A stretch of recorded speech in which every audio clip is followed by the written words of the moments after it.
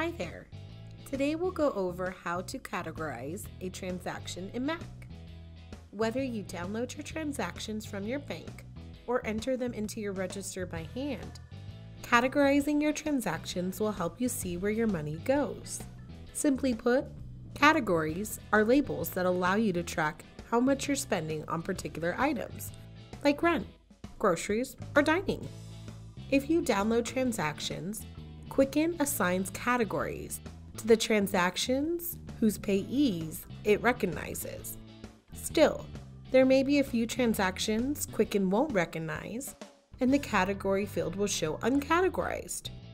Or the category may not be appropriate for that specific transaction. The quickest way to locate uncategorized transactions is through the spending view.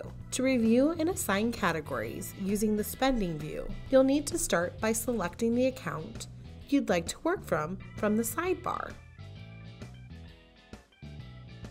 Then, you'll click the spending view if it's not already been selected. You should now see a list of your transactions and a pie chart.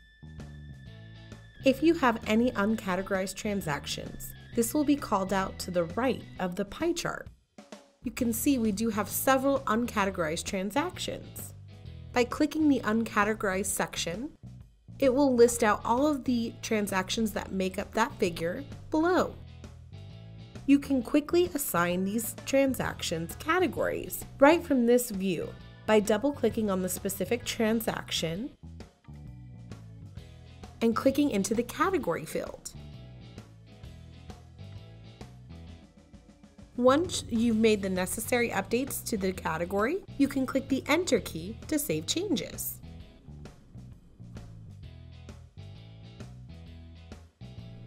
If you need to adjust a category that was incorrectly assigned to a transaction, you'll need to start by selecting the account you'd like to work from in the sidebar.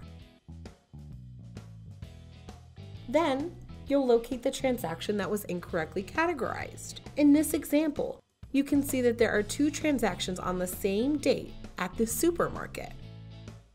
One transaction is for groceries, but the other is for gas that was purchased at the same location. Since both payees are the same, Quicken assign the same category to both transactions. We'll need to update the category for this transaction to show that this was gas purchased. This will ensure that you can properly track how much you're spending in each category. To change the category, you must double click in the transaction, and then you can click in the category field and start typing the correct category. Once you've updated your category, you can click the Enter key to save the changes.